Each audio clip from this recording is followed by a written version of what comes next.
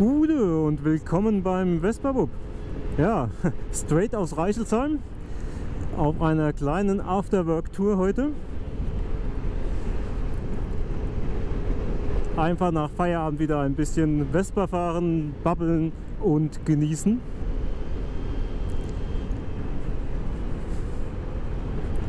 Ja, und heute hoffe ich dann auch, dass die Filmaufnahmen besser übertragen werden zu YouTube als beim letzten Video. Also da nochmal ein großes Sorry. Das war am Anfang das letzte Video äh, von der Qualität her nicht sehr gut. Ähm, ich weiß nicht, was passiert ist beim Upload, weil wenn man sich das Video jetzt anschaut, ist es deutlich besser. Ja, nicht perfekt, aber besser. Äh, ich habe jetzt nochmal alle Einstellungen durchgeguckt bei mir, woran das gelegen haben könnte. Also ich filme ja hier mit äh, der GoPro auf 4K habe jetzt aber gesehen, dass ich im Schnittprogramm noch mal so einige Einstellungen verbessern kann, was ich jetzt auch gemacht habe. Ja, und dann sollte das jetzt auch wieder ein gestochen scharfes Bild geben, wenn nicht YouTube das wieder komplett zusammenkomprimiert beim Hochladen. Aber wir hoffen mal das Beste. Ne? So, jetzt gibt es ein langes Stück Landstraße und danach kommen wir mal zum eigentlichen Thema dieses Videos. Äh, ich wollte ja mal so ein bisschen drüber babbeln, warum dieser alte Sack hier eigentlich auf einer Vespa sitzt. Ja, aber dazu dann gleich nach der Landstraße und ein bisschen Musik.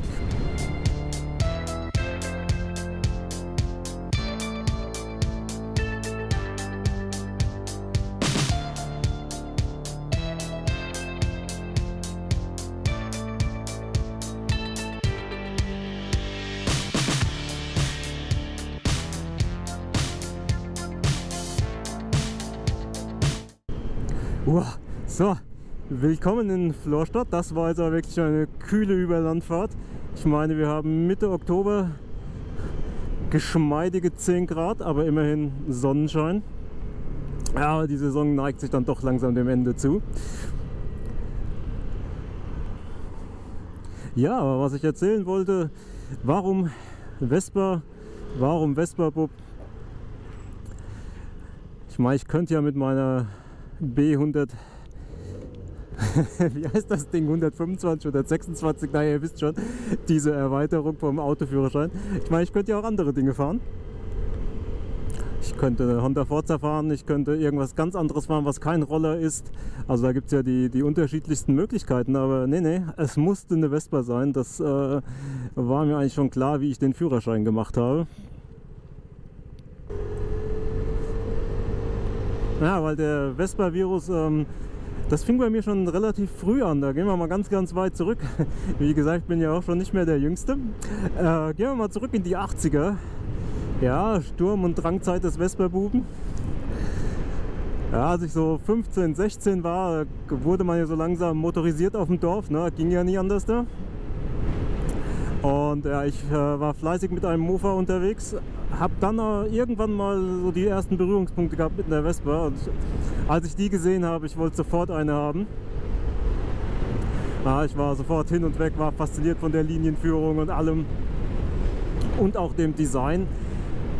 Ich meine, so in den 80ern, da hat man die, die Wespen auch noch äh, sehr wild umbauen können. Ich glaube, damit käme man heute gar nicht mehr durch den TÜV. Ich blende euch mal unten ein Video in die Videobeschreibung, schreibe ich mal mit rein. Ja, fahren wir raus.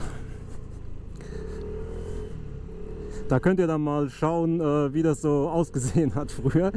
Ähm, ja, aber äh, wie gesagt, ne, da äh, wollte ich schon eine, eine Wespe haben, habe mich dann so ein bisschen umgeguckt. Dadurch, dass ich ja mit dem Mofa unterwegs war, war eine 50er für mich überhaupt keine Option. Ähm, lieber Schutzmann, hör mal weg. Äh, 50 habe ich auch locker mit dem Mofa hingekriegt. Ähm, und daher hätte es eigentlich dann eine 80er sein müssen, so wie das früher so schön hieß. Eine 80er muss es sein. Ja, das wäre ja dann so diese PX80 gewesen. Aber also das war ja damals schon vom Preis her utopisch. Führerschein, Versicherung noch dazu. Also das wäre nicht bezahlbar gewesen damals für mich so als äh, 16-Jähriger. Ja, und so blieb es dann beim kleinen Mofa. Äh, ja, und der Traum wurde so ein bisschen nach hinten geschoben. Ähm, geriet dann so im Laufe des, des Lebens so auch in, in Vergessenheit, möchte ich sagen. Ja, natürlich, wenn ich mal eine Vespa gesehen habe, dachte ich mir so, oh, wie geil ist das denn? Gerade auch so diese ganz alten noch. Ja, aber es kam dann so erstmal das Leben dazwischen, ne?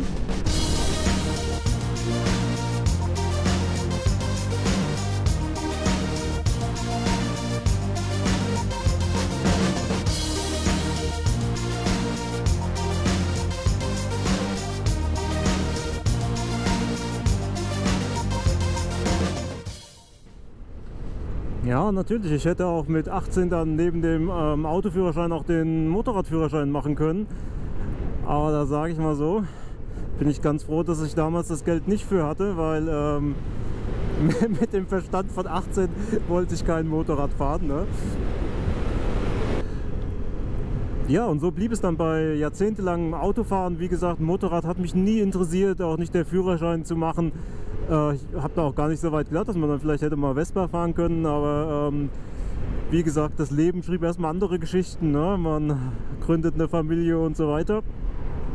Und da war dieses Thema ganz weit weg. Ja, aber wie kam es dann jetzt doch zur Vespa? Ja, ich würde sagen, ich bin ein YouTube-Opfer. äh, ich habe äh, letztes Jahr, äh, Sommer vielleicht, ähm, früher Sommer, ja, habe ich ähm, auf YouTube äh, geschaut, äh, eine Reportage mir angeschaut. Das Ding hieß einfach äh, Führerscheinerweiterung oder irgend sowas und hat mich neugierig gemacht, habe ich mal reingeguckt und ja, da ging es genau um die B196 ähm, Erweiterung, wie das jemand gemacht hat. Ja, soweit ganz gut, ganz interessant.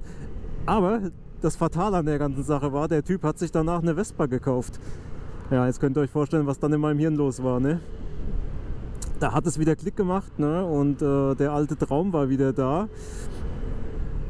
Äh, und die Möglichkeit, äh, Vespa zu fahren, ohne jetzt nochmal einen riesen Führerschein machen zu müssen. Weil wie gesagt, 50er kommt für mich nicht in Frage. Ich meine, ich wohne hier auf dem Land, ich muss andauernd über irgendwelche Landstraßen und das will ich dann auch nicht mit 45 machen. Ne? Das macht nicht viel Spaß und finde ich auch sehr gefährlich. Und ähm, ja, wie gesagt, Führerscheinprüfung, nee, habe ich keine Lust mehr zu. Also ähm, da mich nochmal hinzusetzen und äh, zu, zu lernen und so weiter. Also ich würde mir das zutrauen, aber A, es ist die Zeit, die ich nicht habe und dann natürlich hätte das auch massiv mehr Geld gekostet als jetzt diese Erweiterung. Und ähm, ja, so habe ich mich dann ein bisschen schlau gemacht, was kostet denn so eine Führerscheinerweiterung und da ist man ja wirklich mit 700 Euro war ich da dabei.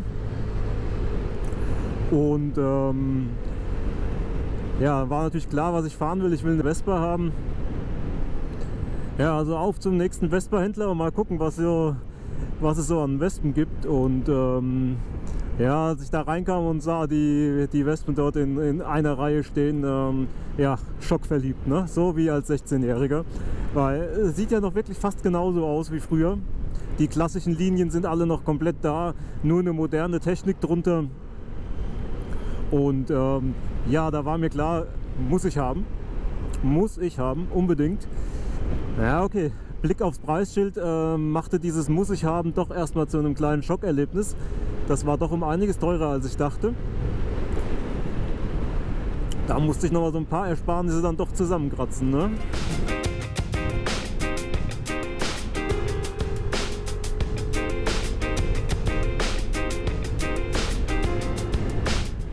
Aber ich würde sagen, das hat sich gelohnt, oder? so schön.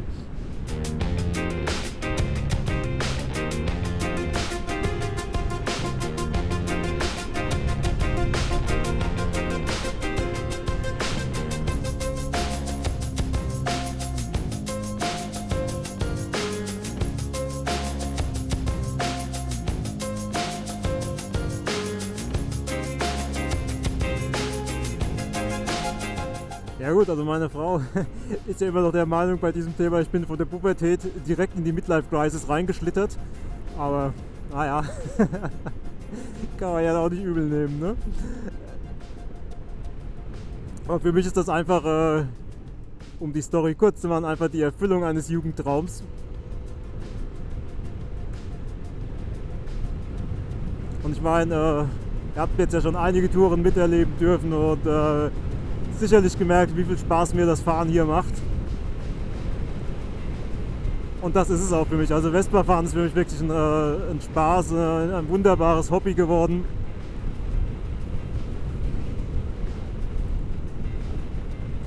Was ich auch jetzt nach so einem Jahr, also so ungefähr, ja, ein bisschen mehr als ein Jahr fahre ich jetzt, auch immer noch sehr, sehr genieße.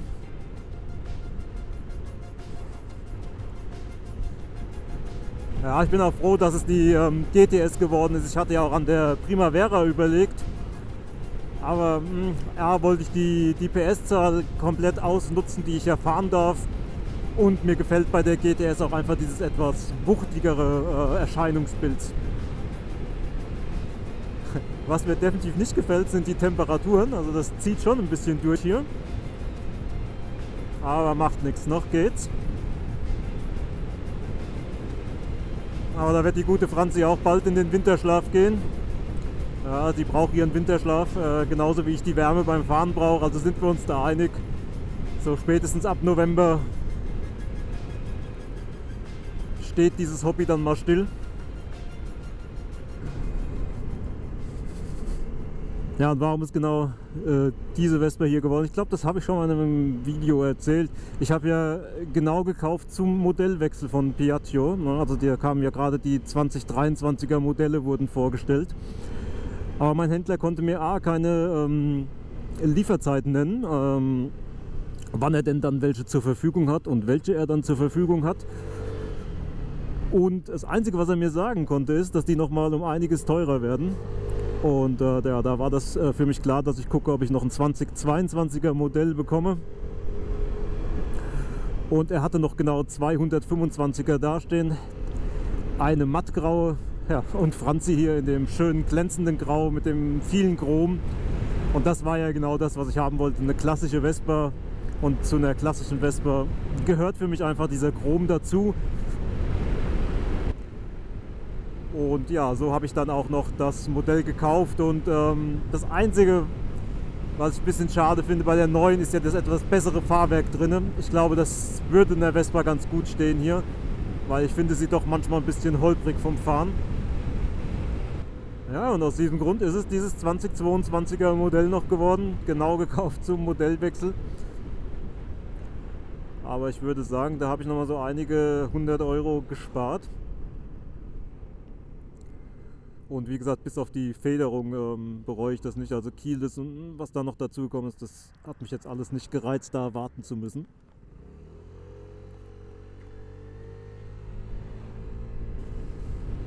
Ja, und so ging die Geschichte los, äh, dass ich mit knapp 50 dann äh, auf einmal Vespa-Fahrer wurde. Ja, und so wird jetzt meine erste richtige Saison ähm, zu Ende gehen. Ich meine, sie war ja zweimal länger unterbrochen gewesen. Einmal durch die sechswöchige Radreise und dann nochmal durch meine Krankheit. Auch nochmal über einen Monat. Also daher gar nicht so viele Touren gemacht. Aber trotzdem viel Spaß gehabt.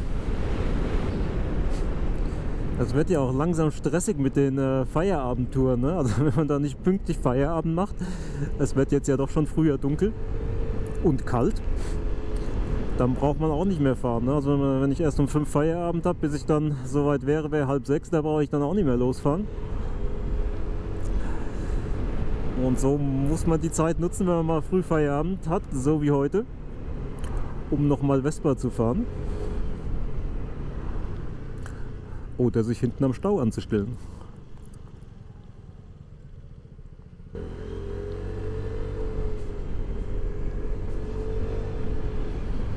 Ja, dann noch ein paar Motorradfahrer unterwegs. Ich befinde mich jetzt hier auf meiner Ehrenrunde ähm, durch, durch Echzell. Ehrenrunde deswegen, ich drehe jetzt gleich hier einmal bei. Und dann geht es wieder Richtung zu Hause. Was aber an den Temperaturen liegt, weil so bei 10 Grad möchte ich jetzt keine großen Touren mehr fahren. Ja, da bin ich doch ein bisschen kälteempfindlich. Wer da noch mal mit mir mitleiden möchte, kann sich ja noch mal die Inspektionsvideos angucken von Anfang des Jahres. Da bin ich bei, äh, ich glaube, das waren 5, 5 Grad. Bin ich dann zum Händler gefahren und habe äh, ein bisschen gelitten.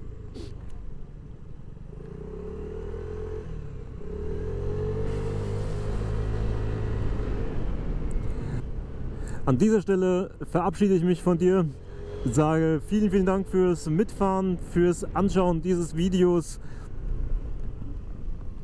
Wenn dir dieses Video jetzt zu kurz war und du noch Lust hast auf weitere Vespa-Touren mit mir, ich blende im Abspann noch ein Video ein, da kannst du nochmal mit mir und mit Franzi auf Tour gehen. Und dann sage ich jetzt ciao und bis zum nächsten Video.